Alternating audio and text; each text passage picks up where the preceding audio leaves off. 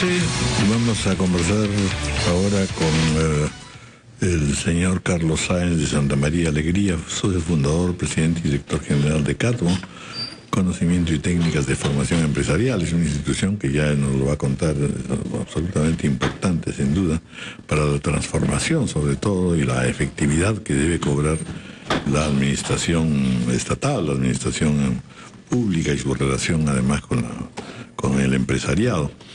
Y participa en el 15 Encuentro Internacional Virtual Educación 2014, Educa 2014, organizado por el Ministerio de Educación y la OEA.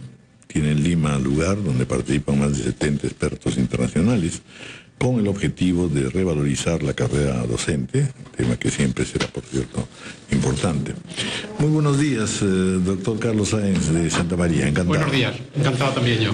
Bueno, efectivamente, vaya que es un problema y que es un problema que tiene que ser solucionado, sobre todo porque, claro, ya la rémora de la, de la burocracia y lo que en el Perú se ha dado en llamar la permisología, que para cualquier cosa, hasta para respirar, se necesita un certificado dado por, por alguna oficinita, este, es evidente que se necesita hacer un eh, gran esfuerzo, un gran esfuerzo que va desde los sueldos hasta el número de trabajadores que conforman la burocracia, el grado de especialización y finalmente la apelación, el recurso, el buscar ahora un empalme entre burocracia o administración pública y las nuevas tecnologías de la comunicación y de la información. Así que vaya que el campo es bastante grande, ¿no es cierto?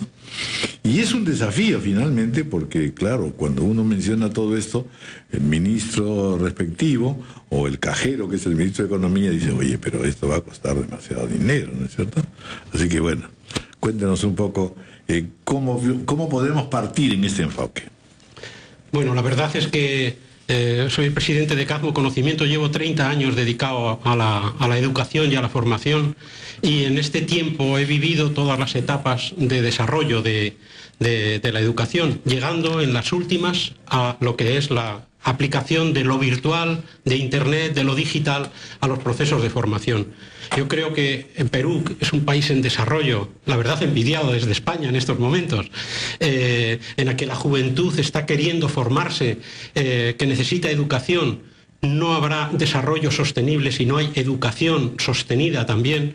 Eh, realmente es un reto muy importante que tiene el Perú para lo que tratamos de transferir un poco la experiencia de Cadmo Conocimiento con nuestro socio en Perú, eh, que es Lego Educación a Distancia, con los cuales lo que queremos es transferir nuestro know-how, enseñar o comunicar lo que nosotros hemos aprendido y lo que creemos que se debe hacer y lo que no se debe hacer.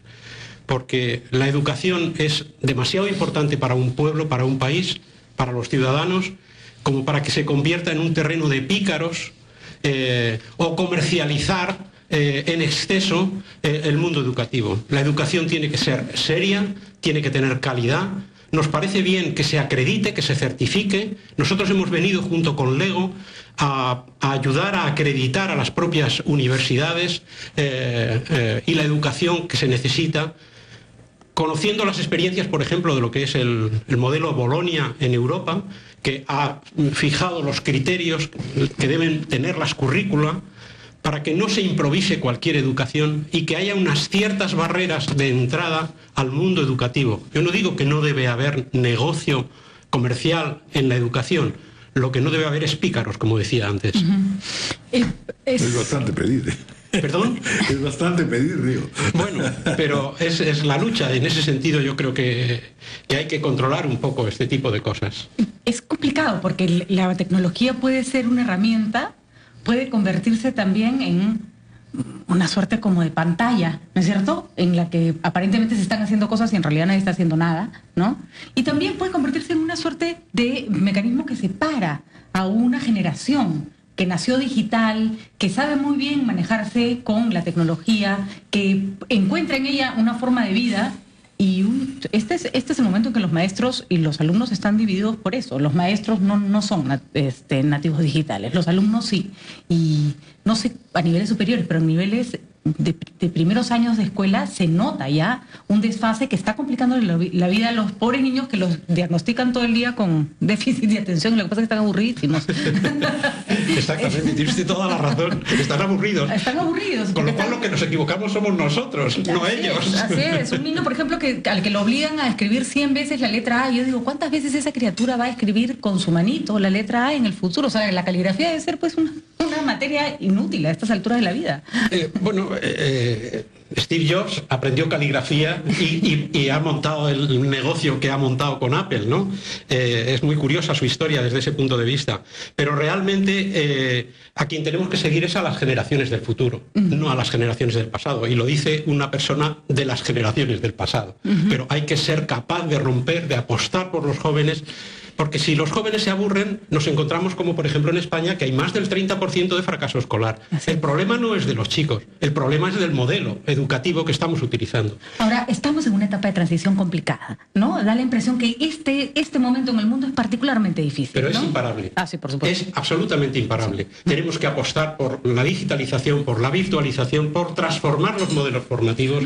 No podemos seguir con unos modelos formativos anquilosados. Así es. Aquí la diferencia no solamente es de las generaciones, sino que en realidad, por eso eh, yo fijo mucho la atención en la necesidad de la reforma al interior del Estado, del servidor público, que es el que va a manejar educación, salud, etcétera, etcétera. Entonces, si esa persona está momificada, o es corrupta, o en fin, todo lo que ya sabemos, tiene inconductas, de hecho compromete todo el sistema y hace muy difícil o más difícil operar, digamos, en la formación y la reforma educativa.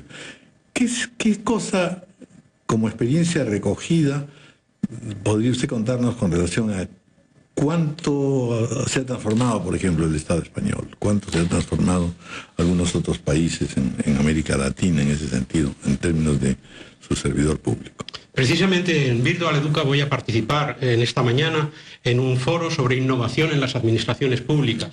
Hemos creado en concreto en el Instituto Nacional de Administraciones Públicas un banco de conocimientos, porque el conocimiento que hay en la administración es muy grande. Hay que digitalizarlo, hay que ponerlo a disposición de los funcionarios, hay que ponerlo a disposición de los ciudadanos, para que haya más transparencia. Si hay transparencia, habrá menos corrupción, habrá menos burocracia, mucho menos burocracia, etc. Por eso nosotros lo que hacemos es ayudar a transformar los modelos formativos, los modelos de conocimiento, de transferencia del conocimiento, de gestión del conocimiento, en los cuales hay que introducir la tecnología. y, a, la luz, perdón. Y, a, la luz de todo esto que, nos viene diciendo y que es en realidad la constatación de algo que está ocurriendo, entonces los modelos que estamos revisando van a quedar obsoletos pronto, prontísimo. Bueno, ya no. Ya están obsoletos muchos de los modelos, ¿no? Ya están. Porque tenemos una discusión enorme sobre la educación, la currícula. De pronto todo eso ya no tiene ninguna utilidad.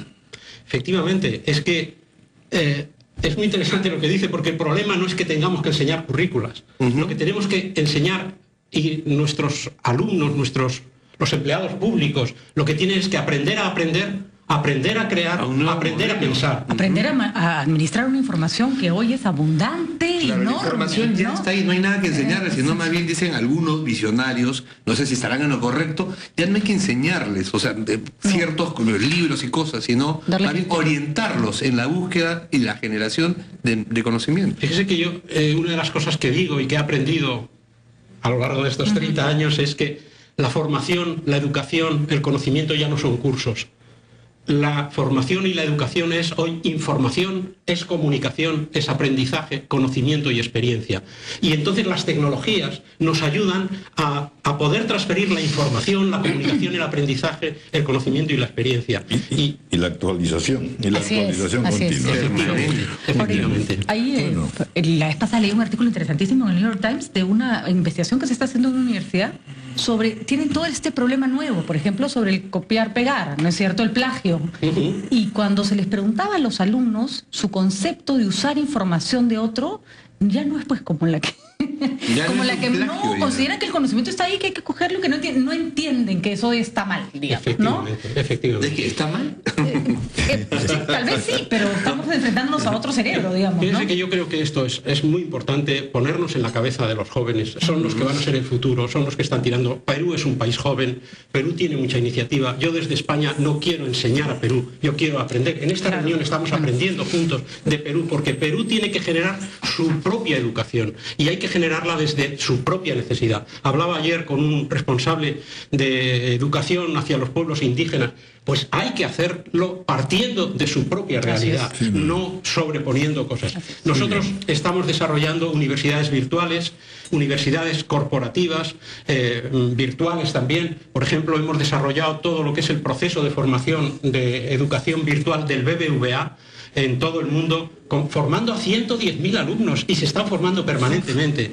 O Gas Natural Fenosa, eh, o Universidad, por ejemplo, hemos trabajado para el Tecnológico de Monterrey.